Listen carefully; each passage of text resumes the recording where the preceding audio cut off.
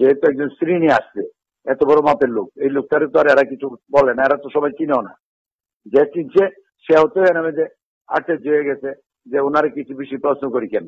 ওনার কাগজে সব লিখে দিয়েছে তুমি মিনিমাম একশো লোকের ডাবদা প্রশাসন এবং এই সাংবাদিক। মিল্লা গেটটা মেয়ে ধাক্কা দিতে এরপর হেফাজত ধাক্কা পাচ্ছে ফুল। তখন পুলিশে নিয়ে যেতেছিল গাড়ি দিয়ে, তো পুলিশে এরা হাতে উড়াই দিতে বাধ্য হইল। এই হাফিজ ওনার বাপের সাথে আমার একসাথে বৈশা খাওয়া। পঞ্চাশ দিন খাচ্ছি উনি আমার অন্তরের লোক ছিল। ওনার জানাজার প্রথম ব্যক্তিটা ছিলাম লাইনে। যে জানাজার কপিটা দেখবেন আমার দেখবেন আগে। মৌলানা কলিমুল্লাহ সাহেবের ছেলে আর আমার ছেলে একসাথে পড়ছে। আলহাজ শেখ সাইদুর রহমান বলছেন? জি জি। আচ্ছা আপনার কাছে একটা বিষয় জানা যে গতকাল রাতে যে ঘটনাটি ঘটলো মামুনুল হকের। জি। আপনারা সেই বিষয়টা আসলে কতদূর অবগত এবং আপনারা কি জানতেন? না টোটালি আমরা জানতাম না। যখন ঘটনা ঘটে, ওই মুহূর্তে আমরা জানলাম যেখানে একটা ঘটনা ঘটতে যাচ্ছে। এর আগ পর্যন্ত আমরা কিছুই জানি না। কারণ আমাদের গেস্ট আসবে কার্ড দিবে, তার আমরা রুম দিবে।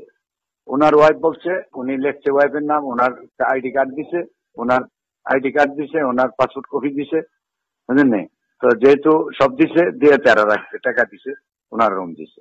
এখানে যে মানে মনে প্রশাসন বসা ছিল S B N S NSI প্রশাসন, এটা আমরা জানি না। মানে আপনারা যখন কাউকে রুম দেন বুকিং যখন হয়ে যায় তখন ওই রুমে কি আর কেউ ঢোকার ক্ষমতা রাখেন আপনাদের অনুমতি ছাড়া? না না পারে না। তাহলে আপনাদের অগোচরে এই ঘটনাটি ঘটলো আপনারা এটা কীভাবে দেখেন? আমাদের এখানে যদি পাঁচশো লোক একসাথে ঢুকে আমরা আমার লোক পঞ্চাশ জন আছে উপরে একটা ফ্লোরে দুইটা বিল্ডিং তিনটা বিল্ডিং আমার লোকে কীভাবে ধরবে? একসাথে যে জাবদার তারা জোর মারছে সব প্রশাসনের। প্রশাসন এবং সাংবাদিক। একসাথে সব চ্যানেল নিয়ে একবারে গিয়ে তারা ডুব দিছে। তখন তো আমরা ছিলাম না পেজেন আমরা লোক তো সব দূরে চলে গেছে, এই লোক দেখিয়া।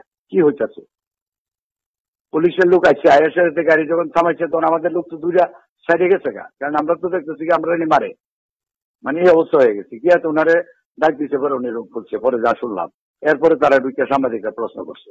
এরপরে তো আমি আর জানি না কিছু। এরপরে তো আমি নিজে আমার পুলিশে বা বাইরে লোকের আমার বলছে, আপনি ছেড়ে দেন আপনার মেরে লেগো। তখন তো হেফাজতে বেন্দারে সামনে তখন তো আমার বাঙ্গা আরম্ভ হয়েছে টোটালি এরপরে ওনার রুমে কি হয়েছে তা আমরা জানি না যা টিভিতে দেখতে না আচ্ছা মানে যখন এই ঘটনা ঘটলো আপনি তখন কি বাইরে ছিলেন? আমি বাইরে ছিলাম। আমার এখানে একটা পার্টি চলতেছিল ওইখানে একটা বিয়ার প্রোগ্রাম ছিল বউ আছে বিশ পঞ্চাশ জনের। এরা লোকটিরে বউ টোরে বিদায় করার জন্য আমি ওইখানে ছিলাম সেকেন্ড বিল্ডিং এ তিন নম্বর বিল্ডিং এ এরপর আমারগুলো গঠন হইতেছে আমি তাড়াতাড়ি এরপর কয়েকজন স্যার আপনি দেন না? আপনি কে জানাইলো? আপনার ম্যানেজার? না আমার ম্যানেজার না আমার স্টাফ রায়া। ওই যে ফ্রন্টেক্সের যারা ছিল এরাই বলল স্যার এখানে অনেক সবাই এখানে মানে ভরে গেছে লোক ভিতরে মানে কে আসছে এর নাকি বড় নেতা আসছে কি নেতা আমরা জানি না। আমার আমার স্টাফ রায় বলল হাউস কিপিং এর লোকরা। তখন আমি আমরা এই পিছন ব্যাগ ধরে গিয়ে আমার পুলিশ কয়েকজন পুলিশে আমার বলল তাহলে আপনি একটু ছেড়ে যান তখন আমার নিয়ে বাইরে চেপে রেখে দিল।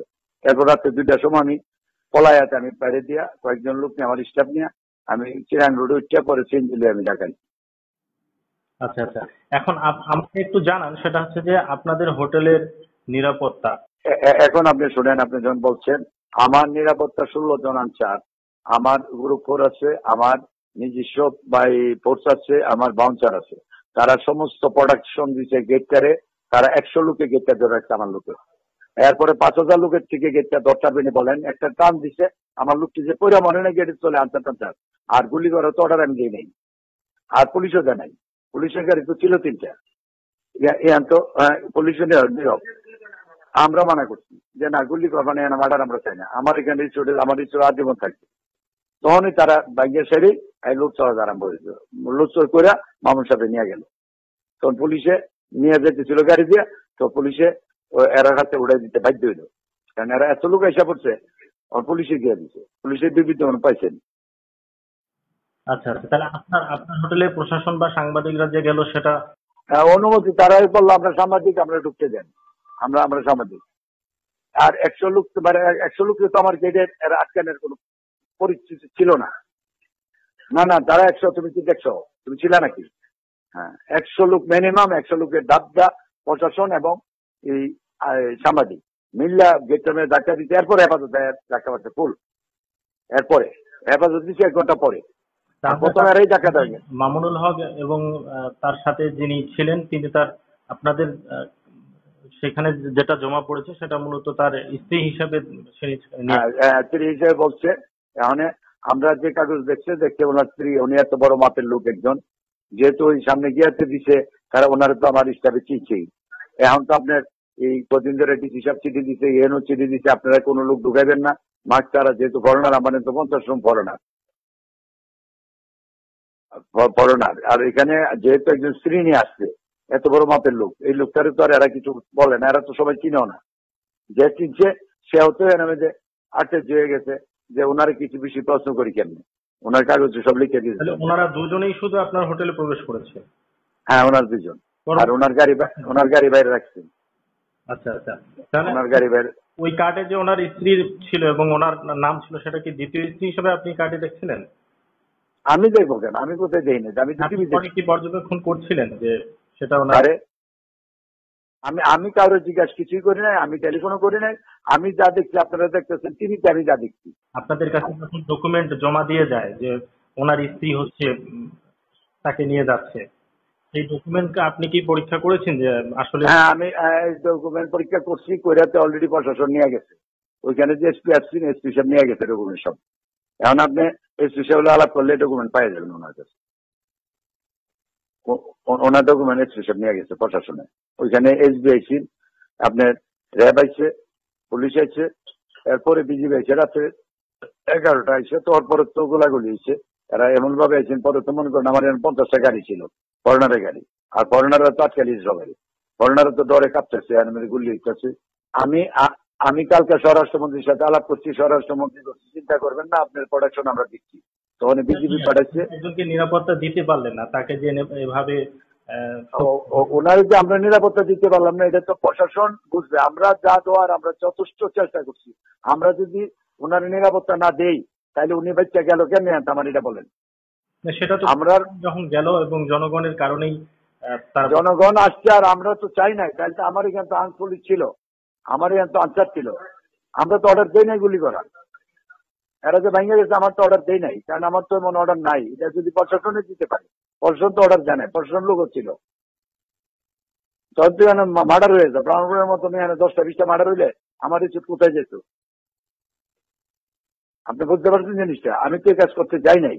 কারণ আমি কেন করতে যাব কথা? তাহলে মা- মা- মামুনুল হকের এই বিষয়টাকে আপনি মানে একজন হোটেল পরিচালনাকারী হিসেবে কি ভেবে দেখছেন? আমি ওনার একজন মানে এই দেশের বিশিষ্ট মানে উনি হলো সাইফুল হাদিস আল্লাহ আমার ছেলে। ওনার বাপের সাথে আমার সম্পর্ক ছিল বিশ বছরের। এই হাবিজ হুজুর ওনার বাপের সাথে আমার একসাথে পয়সা খাওয়া। পঞ্চাশ দিন খাচ্ছি উনি আমার অন্তরের লোক ছিল। ওনার জানাজার প্রথম ব্যক্তিটা ছিলাম লাইনে। যে জানাজার কপিটা দেখবেন, আমার দেখবেন আগে। কারণ আমি মানে আল্লাহ ভক্ত, আমি দশ- বিশটা মাদ্রাসা চালাই। ওই জন্য ব্রাহ্মণবাড়িয়া মাদ্রাসা চালাই আমার নাম শেখ সাইদুর রহমান। ব্রাহ্মণবাড়ি জিজ্ঞেস করবেন, আমার মাদ্রাসা কয়টা চলে? আমার বাপের নামে এক আলী মাদ্রাসা আছে, পাঁচশো ছাত্র। আমার নিজের আছে, এবং কতটা মাদ্রাসা তো অনুদান দিই। কারণ আমি এই লাইনে আজকে চল্লিশ বছর আমার ছেলেরও মাদ্রাসা দিচ্ছিলাম ও ভালো ভালো না, আমার ছেলে হাফেজ বানাইতে পারি নাই। পাঁচ বছর আমার মৌলানা ইয়ে বেলায় সাহেব নিজে পড়েছে হাফিজুজের প্রথম যে এই শিষ্য উনি নিজে পড়াইছে আমার ছেলেরে মৌলানা কলিমুল্লাহ সাহেবের ছেলে আর আমার ছেলে একসাথে পড়ছে। তাহলে বুঝলেন আমি কোন ফ্যামিলির বা আমি কি আমার উপা ছিল মৌলানা আব্দুল আহাদ আল মাদানী ছিল আন্দুল্লাহ মসজিদ ইমাম সাহেব। উনি ছিল আমার আপন কোপা আচ্ছা আচ্ছা। ঠিক আছে আপনি হ্যাঁ ফোন দেবো হ্যাঁ। যে আমারে ফোন দিয়ে ভাইলে আপনি আমার মাথা ঠিক নাই। আমার বিশ পঁচিশ কোটি টাকার হতে আমার যে মাল লুটেছে আমার যে মালটা ভাঙছে আমার যত মূল্যবান একটা মেশিন পাঁচ লাখ দশ লাখ টাকা। বুঝলেন না? আমার একটা সার্ভার। সব ভাঙ্গিয়া টাঙ্গিয়া একবারে নিয়ে লুট করে এক গ্রুপ বুঝলেন না এই ঘটনা একটা গ্রুপ কাদেরকে মনে করছেন? না না একটা গ্রুপ তো লুট করা তাই বুঝলেন না? যখন এরা তো কাছে এই যে হুজুরা কি কোনোদিন লুট করে নাকি? যখন ভাঙে তখন আরেকটা গ্রুপ তো তাই সন্ধান এটি লুট করার জন্য ডাকাতি করার জন্য ওই গ্রুপটা। আপনি এটা তো ফুটেজ আছে ফুটেজ আছে। হ্যাঁ? ফুটেজ আছে ফুটেজ আছে সব বাড়ি যাবে ওই যে প্রশাসন সব বাড়ি করে আমার এখানে ফুটেজ আছে তো আমার লোক হচ্ছে ক্যামেরা করছে ভিডিও আছে সব করে রাখছে। আচ্ছা ঠিক আছে ঠিক আছে ওকে জি জি ধন্যবাদ ধন্যবাদ দোয়া করেন আল্লাহ যাতে আমার সেভ করে আমার আমি নিজে সেভ চাই আমার যাতে সেভ চাই। এমনি তো আমার রিসোর্টের উপরে কলঙ্ক আমার রিসোর্টের লাইফে কোনো মদের পারমিশন নেই কিছু নাই।